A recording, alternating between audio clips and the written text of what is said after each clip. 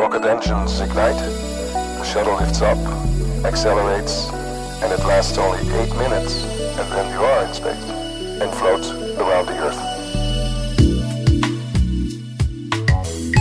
My mission is to make clear what the Earth means. The first view of the Earth is a shock because of its inhuman perspective. I've seen it. We're all astronauts. Of our spaceship Earth. It is our responsibility to maintain spaceship Earth in good quality.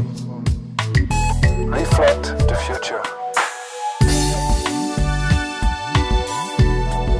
There's only one Earth. And there's no spare. And there's no spare.